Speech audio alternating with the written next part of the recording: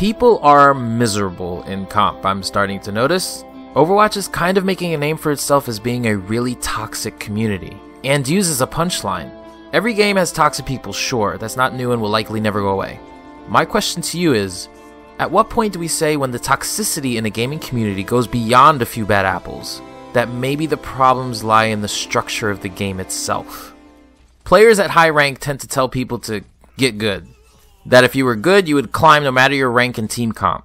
Low ranks tend to say that they are in elo hell and it's not their fault they can't climb. It's a pretty big debate, been going on for a long time. To this, I say, both sides are right. Sure, you can have your opinion, that's fine, but I ask you this which argument do you tend to lean towards, and what is your rank? Stylosa actually had a video back in July talking about some issues with competitive even if you don't really like rant videos, this one I think you should listen to. It's likely the best rant I've ever heard about comp. And what makes it so interesting is that the problems he was talking about are the ones I deal with as well, and many, many others. Yet he's in Grandmaster, and I'm in Platinum, at least at the time of this video. There are many frustrating aspects to comp that I think most of you will agree with, such as why do we have seasons if our rank isn't reset? I understand both the reasons why our ranks should or should not be reset, but I'm saving that for another video. Regardless, currently seasons are pretty pointless. And how about the placement matches that are really just a courtesy to find out if you still deserve the same rank last season three days after it ended? 10 matches you have to play and do well in just to get the same rank you just had three days before. Or worse, get a rank that's 200 to 300 SR less than three days before simply because your placements went bad. Maybe you have time to play comp regularly, or maybe you can only play on weekends. What if you devoted your whole Saturday playing comp, constantly going up and down, up and down, only to have gained maybe 30 SR after playing for a massive 6 to 8 hours on a weekend? And you failed to gain SR and hit the next rank, not because of your lack of game knowledge or even mechanical skill, but because of things like your Mercy decided to poke her head out first before everyone else while Junkrat was spamming. Then you very kindly tell your Mercy, hey, don't push ahead of the group and wait for everyone else. Then ask very kindly again for the Reinhardt to wait for the Mercy to respawn. But he doesn't listen. He and a few others push onwards only to get wiped themselves because their primary heals are gone. And maybe you finally do group up together and ready to push. Except the last two pushes failed and gave the enemy enough ultimate charge, and now Zarya is popping her Graviton, along with Genji bringing out the Dragon Blade. This pattern of gameplay can span for hours, and you are not becoming a better player after each match. You are only becoming more and more frustrated that even well after a year the game has been released, people still refuse to follow simple concepts like grouping up. I will repeat, people are miserable in comp. These are some of the causes I feel for such a toxic community. Now imagine all of those frustrations you have right now about comp and what I just said. Now look to your left, look to your right. Those other players that you are blaming things on are no different than you. They are feeling the exact same things you are. So they easily get triggered by little things like Mercy poking head of the group and just throw. Then it makes you give up even if you don't vocalize it or try to be positive about it, like a virus, this attitude has been spreading and infecting everyone. Even the most positive people are either turning toxic themselves or just leaving comp altogether. Maybe even the game of Overwatch. The bottom line is that people don't like feeling like they are wasting their time. I don't think everyone cares that much about reaching top 500 or something like that. I think they just don't like feeling they are not progressing and they themselves may be improving as a player and learning everything they can about the game, but their rank doesn't reflect this, and it's extremely discouraging. It's discouraging to bust your ass for hours only to be in a limbo, in a kind of hell, elo hell.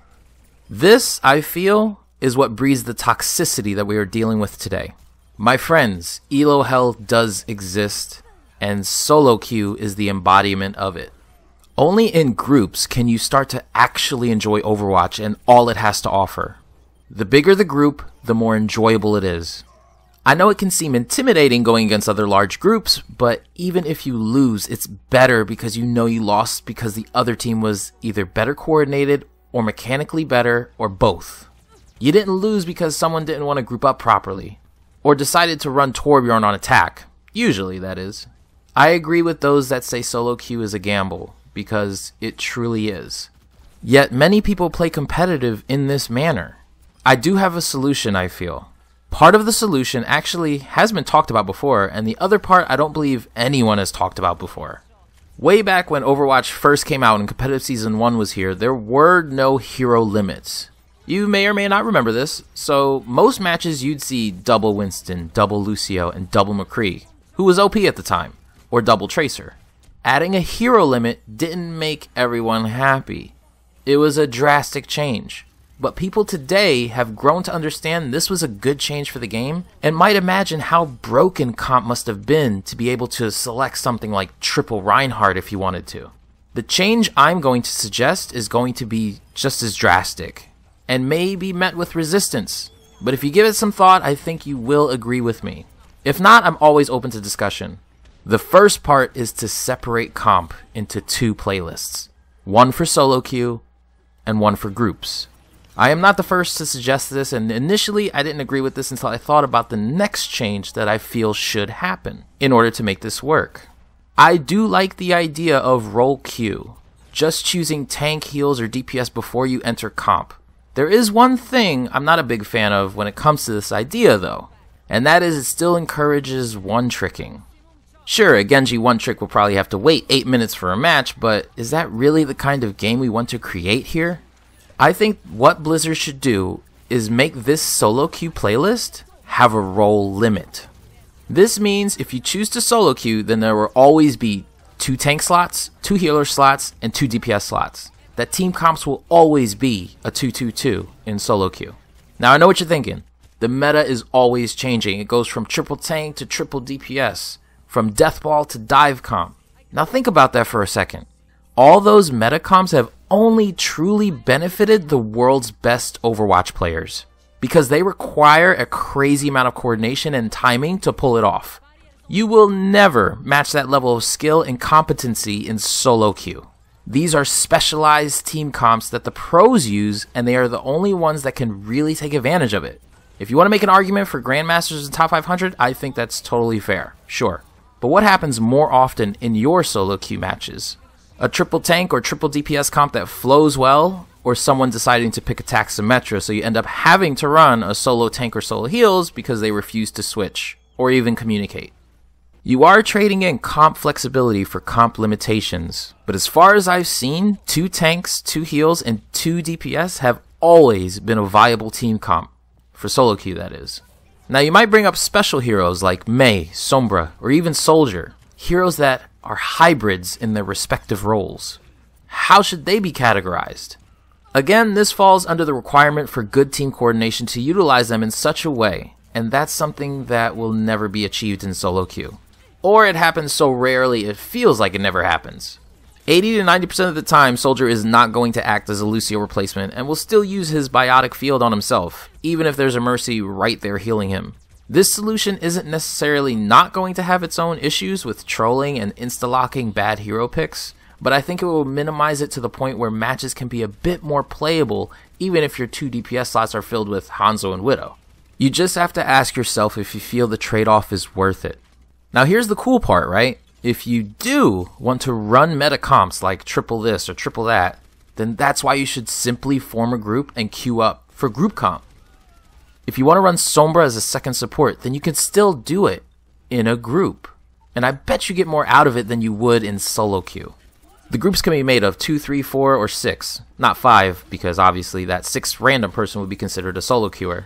I understand that many people like to run by themselves, or may not have friends at the same rank, or whatever. So don't you think limiting the roles in solo queue to a 2-2-2 comp would likely be more enjoyable than going into a match that you can't leave where no one wants to heal and you have 5 DPS and 1 tank? By the way, I'm not completely convinced that people run DPS just because it's quote unquote the most fun. Sure, that's still a good reason why people do it. I think they run DPS because it's likely the least abstract role in the game. What I mean is, people know if you want to win, you have to get kills, which I know is not necessarily true. In theory, you could win a match without getting a single kill because it's an objective based game, not kill based.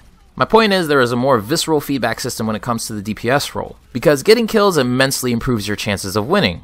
Also, DPS, I feel, have the easiest time getting multiple gold medals. This means if they actually do lose and have gold medals, then they won't lose that much SR as everyone else.